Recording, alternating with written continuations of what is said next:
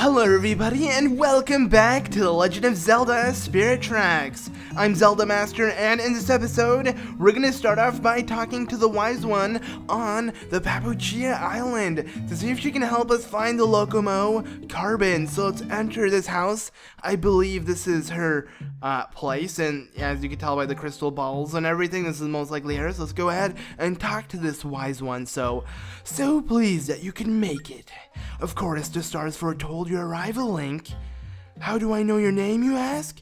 the stars foretold that as well. I know everything you see, even things that haven't ha haven't yet happened. I sense your heart is very deep with concern. Is that so? Yes, it's true.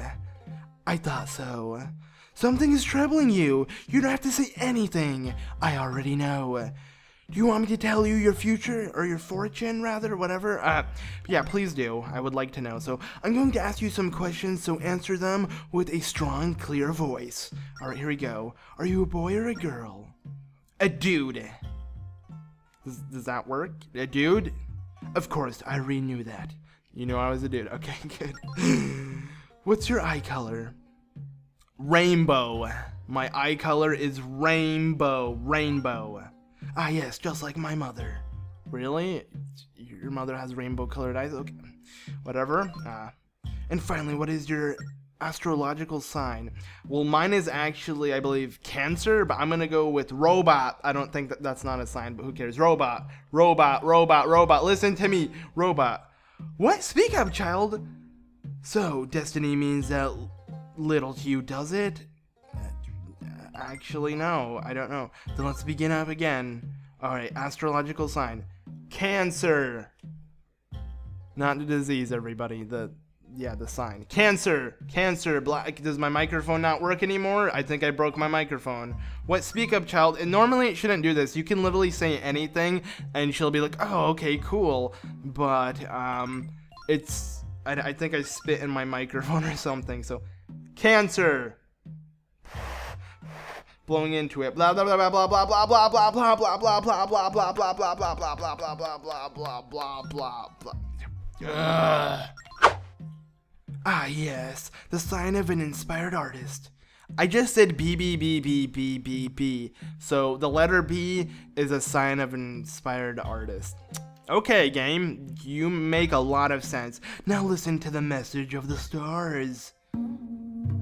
Alright, I don't know what you're doing, but okay. Whoa! Below where the sky dwellers gather, um, near the lonely tree, there's a hidden soundstone that will call him. What you need for today is courage. Alright, thanks for the fortune. Um, I don't know what that meant, but that also kind of made sense at the same time. So this lonely tree here must be what she's talking about, and we have to somehow get this sound stone to appear. Now, I wonder maybe if we play the song of uh, Discovery, will it appear? So let's try that. Alright, here we go. I love that song. Okay, you play the song of discovery, and will you look at that? Yes, I like how I just nudge Link to the side. Alright, so we're gonna learn a new song, guys. Let's see what, which one this is. Alright, purple, yellow, purple. And that's it. Okay, well, let's go ahead and play it. There we go.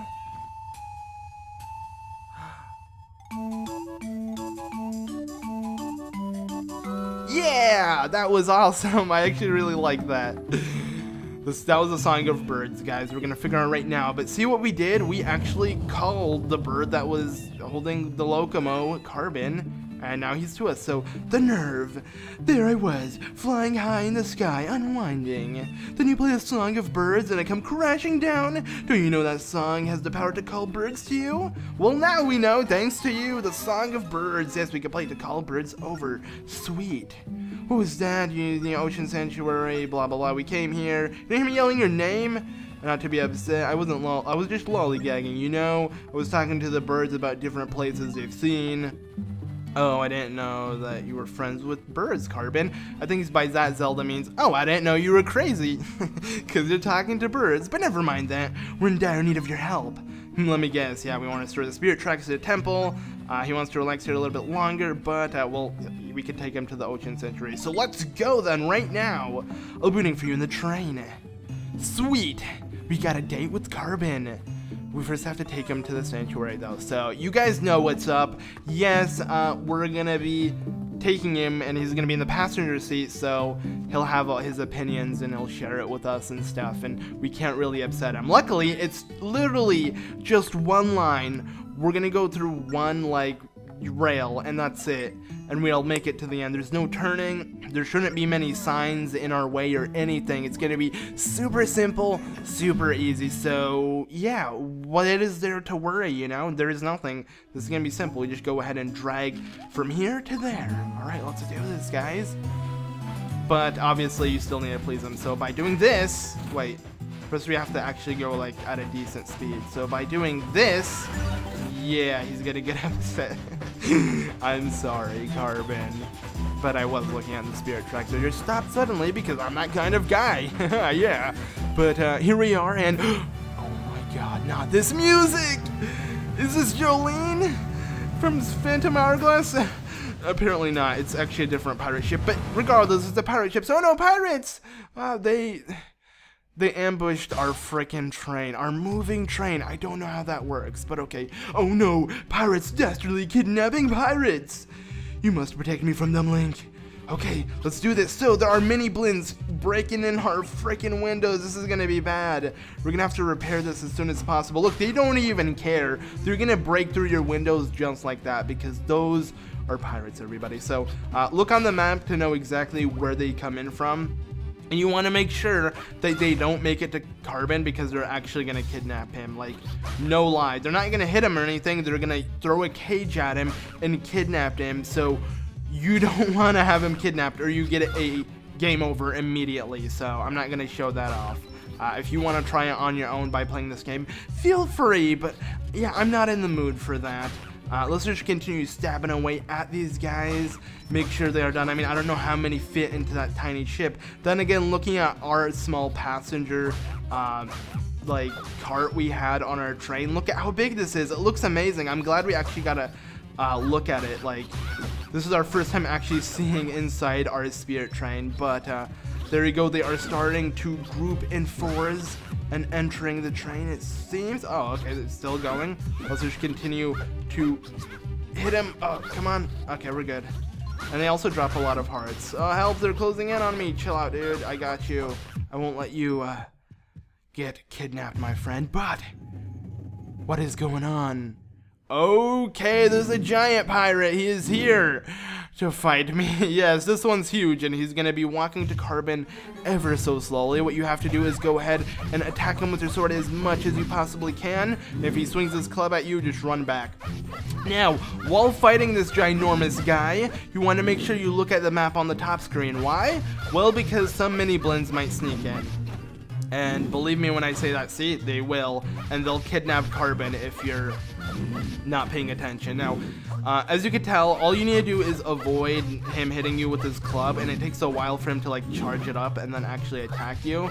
So it's easy to really run back and then get ready to uh, deal another set of blows. But there we go, we're just to continuously do that, run all the way over here, stop this Miniblin real quick, and then head back because, yeah, you don't want this to happen. So make sure to continuously look at the top screen because you don't want to screw this up. At least I don't, so I'm paying attention here. But this is kind of cool, though. We have like a small mini bottle bass thing. Bass? Boss?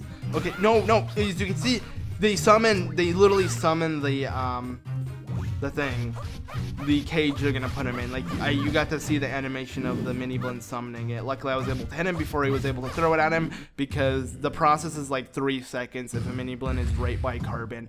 So you don't want that to happen. But there we go, guys. We were able to defeat uh, all of the enemies on that pirate ship. So thank you. You really saved my hide there, Link. Well, now that bit of unpleasantness is over. Let's go to, over to the sanctuary. Yes, we will do that, Carben. Sweet.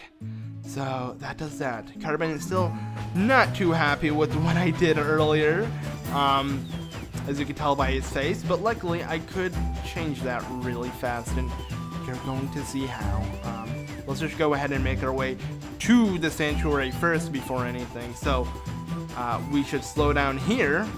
So we can start slowing down and getting ready to stop. And I believe if we stop correctly, he will be happy that we stopped like the way we should. Okay, he didn't really care. Whatever. But there we go. So we made it. Ah, fine. We finally made it. It was such a short distance uh, away, but it fell so far. I suppose more blah blah blah. Okay, cool. And what is this? He's giving us something.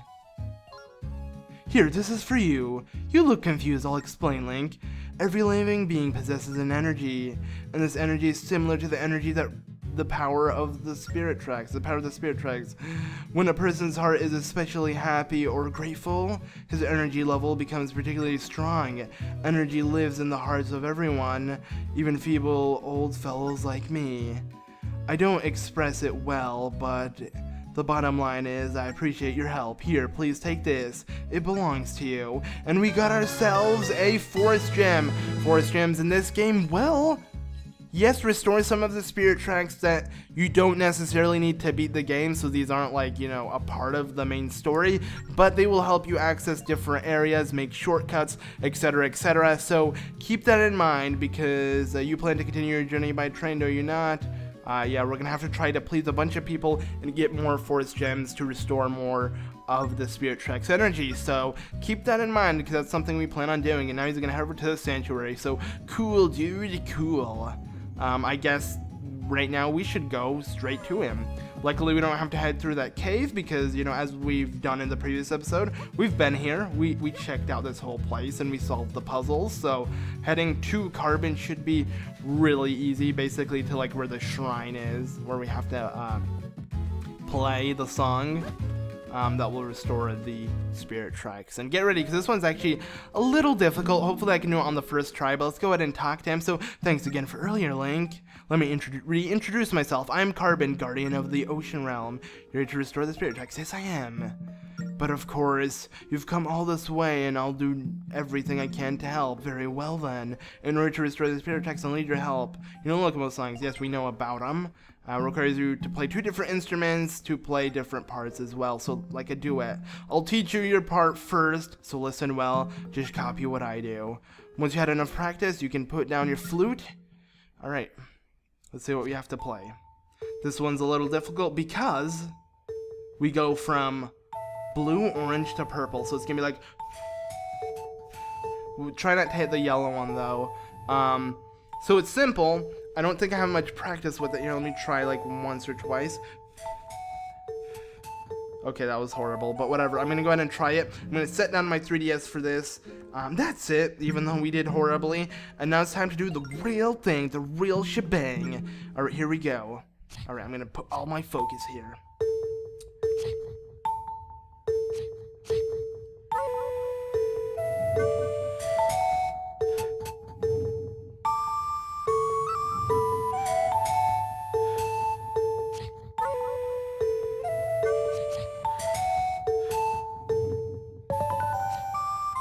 You know, I actually screwed up there and like my stylus was gonna slip out of my hand, but I did it correctly. So, as you saw, it's kind of random. You might be able to play the notes fine, but still struggle. Now, my advice to you guys who might have problems with this one is to wait after he plays his notes. Like, even if the notes for you light up to play, just give it a second and then wait for him to play his notes completely and then go play the three notes. And make sure not to hit the yellow one at all. So stop blowing or cover your microphone for that one second while sliding to uh, the purple one. But or the orange I believe it was orange. I don't know. I forgot I believe no purple. Orange to purple and the middle one in between is the yellow. So you don't want to hit the yellow one Okay, but with that done, we completed a duet with Carben, the Lokomo of the Ocean Realm, and now the tracks will start glowing. Yes, new tracks have reappeared. Yes! Alright, this is gonna be awesome. And I said yes like three times in a row.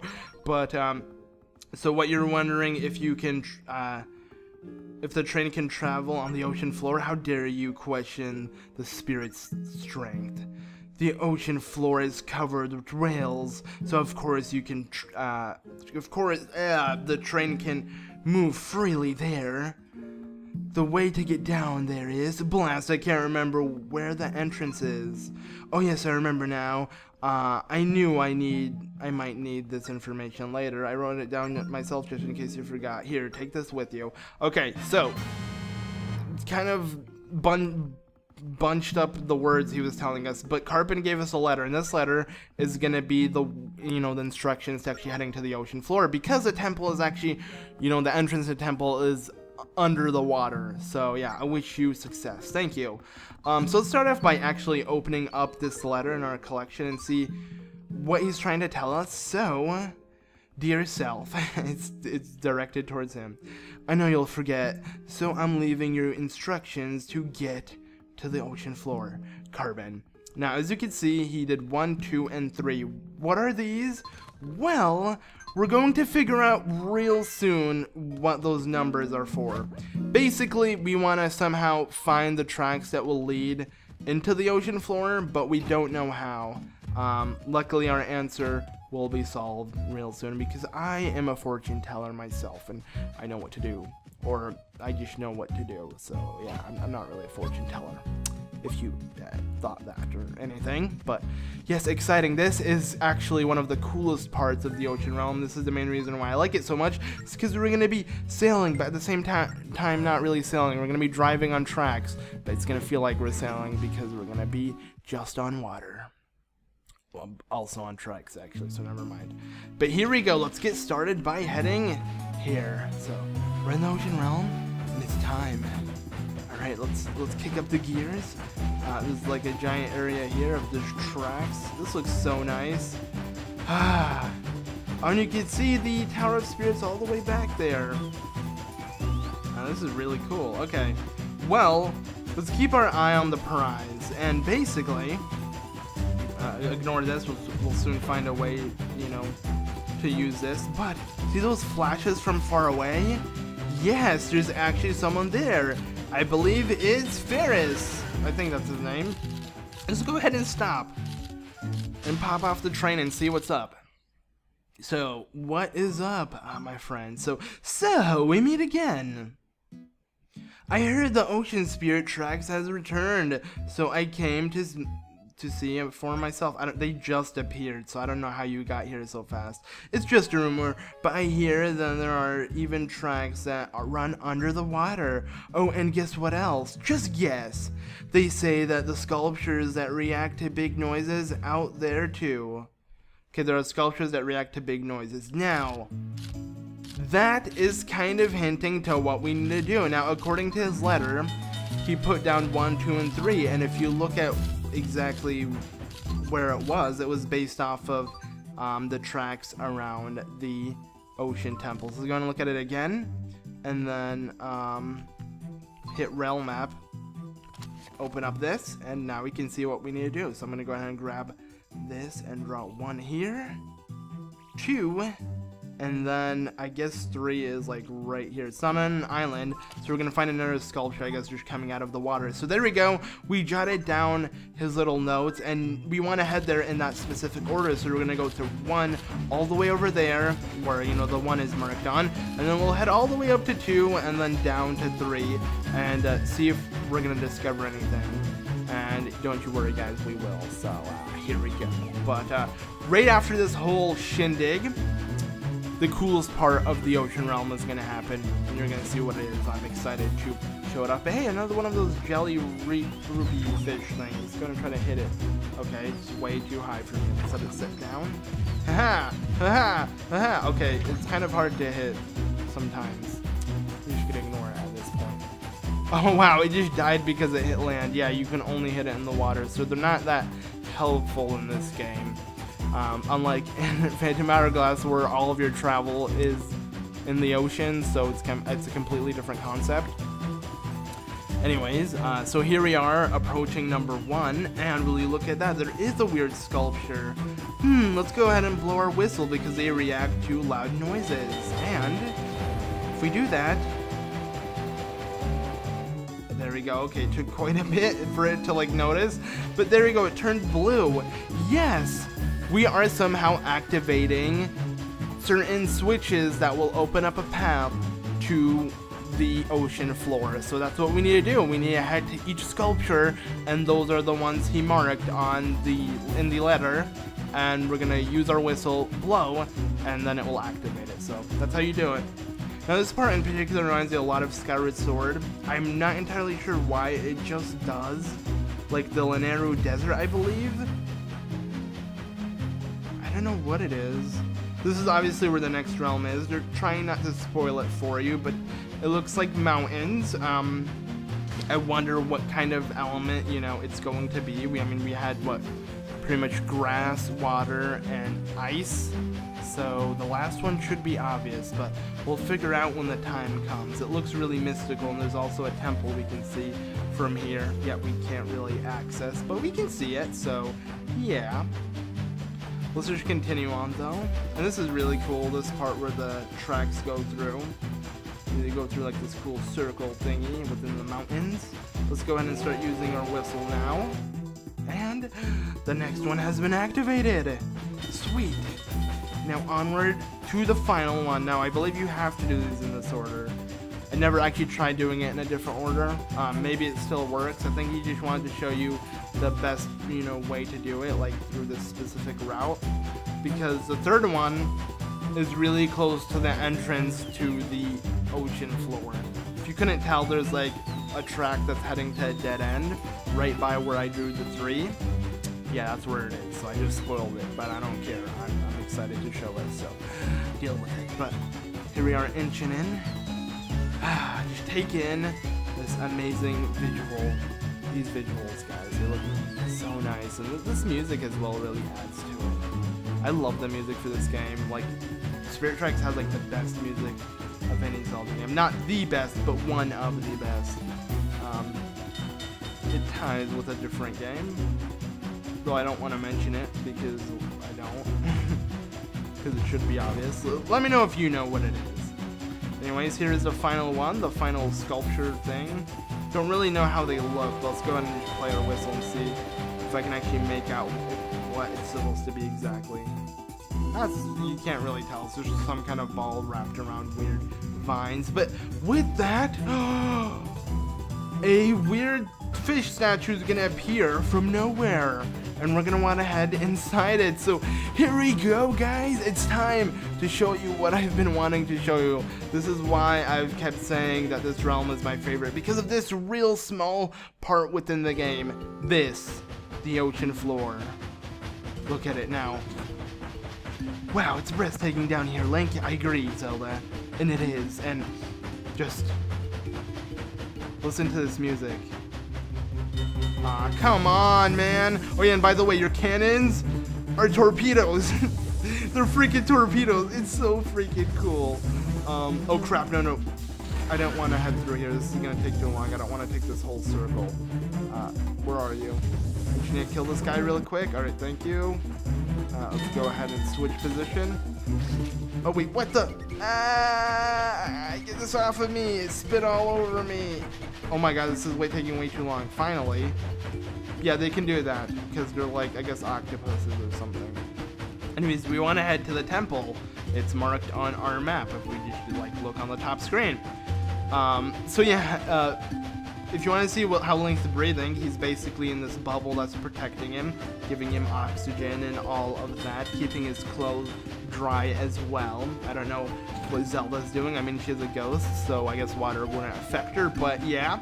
Um, so it's kind of lonely, besides the, you know, octopus, Octorok things that appear in these bombs that seem to be floating up that look really similar to the ones when we'd go salvaging for chests in Phantom Hourglass. Yeah, it's kind of cool as well. It's like a nice uh, Easter egg, I guess you could say. It's not really because I guess it's common underwater uh, in Zelda games, but yeah. Uh, th those are the only two things you can find, but as we approach a temple, something is gonna might might surprise you, but I'm already spoiling what it is, or kind of spoiling that there will be something. So it won't be much of a surprise. Here we go. Ah, oh, but look at that. And the music is so nice. Okay, so yeah, an evil train will appear. And this isn't like no ordinary evil train, my friends. This one is actually out to get you. So what the game wants you to do is like, here, let me show you, is go all the way around here and make your way to the entrance and try to go slow enough to where if you're like going really fast and you're like, let's say over here and this is over here, it doesn't turn around and try to, uh, you know, hit you while you're heading to the temple. So, yeah, this one will turn back and forth. It doesn't matter what track it's on. It will literally switch directions completely to get you. Like I said, it's out to get you. So, what you want to do is stop here and make your way close enough to the fork to where it wants to head upwards. So, right now it's going to be coming for you, and it's going to try to head, up, head upwards. So, we're to wait for it. And then, while it's heading there, what we're gonna do is we're gonna start backing real quick. Alright, we're gonna head up again. Oh geez, don't hit us. Okay. Now it's gonna switch direction. So, what we're gonna need to do... Oh crap, oh crap, oh crap, oh crap. I wasn't ready for this, and I just screwed myself over. Now I have to take the long path, because I there, there was a solution to this, a really simple one, and that was to stay in between the fork and then switch your path. And I did it earlier, like just practicing to see if it still works, and it does. But here I go, recording, and obviously that fails. But yeah, I could have done that. So what I'm gonna do is I'm gonna switch my path over here and take a loop. So what we're gonna do is we're gonna be taking a nice loop. Try to slow this guy down. Oh, another one appears. Ah, God. At least this one doesn't, like, chase you like crazy. So, um, okay, let's go ahead and get ready to turn. I'll let this one come really fast for me. I believe, honestly, I can make it out now. If I just take this loop instead of go the really long way, and I'll be fine. How fast is this me? Yeah, this could have... this could have been a lot easier, my friends. But, since I'm Zelda Master, my luck is just amazing. That's kind of sad. Right, yeah, that's still not too fast. Wait, please die. Please die, please die. Eh. Uh -huh. Yeah, if you want to try it for yourself, you can. I'm actually, like, super upset because now I have to deal with this, the whole thing of having it chase me. Regardless, it shouldn't be that hard. I'll be able to make it to the entrance now easily because the other train is all, you know, doing its own thing. So if I keep heading forward um, and head straight to the temple, I'll be fine. I believe at least. I usually just took the cheap way out, and before I had the other demon train uh, appear, I would just backtrack a little bit, um, stay in between that fork, have it go up, and then I'd switch direction and head straight for the temple. Uh, sadly, that didn't work this time, but I seem to be fine regardless. I'm heading straight for it. So this is the easier way to do it, I guess, if you're unsure of doing what I was trying to do, which is, you know, right here in this fork and try to trick it. Um, you can just do what I'm doing right now and just take a loop real quick all the way up here and have it chase you all the way to the temple. Luckily, it doesn't even go that fast. It goes, I believe, the same pace as you, so we'll be fine. And I don't think anything is going to stop us, so yeah. I'm gonna continuously look back though, just to make sure that it doesn't speed up. I guess I could shoot some torpedoes at it to slow it down slightly. There we go, we're good. Alright, and that does it. So we are at the Ocean Temple. It's time to take it on. Still a little upset that um, this took longer than I wanted it to. I wanted to make it look extremely easy from my part. But, uh, you know, people make mistakes. Uh, we're only human, guys. We're only human. Even though this is just a simple video game. But uh, to me, it's a pretty big mistake. So, yeah, I'm upset. I'm sorry I disappointed you guys. But there we go. Uh, here we are. We're in the Ocean Temple. And so here we are at the Ocean Temple. You ready to go in, right, Link? Oh, yeah!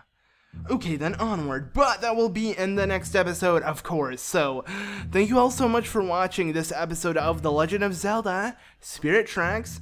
I've been Zelda Master, and I'll see you all in the next one. Goodbye.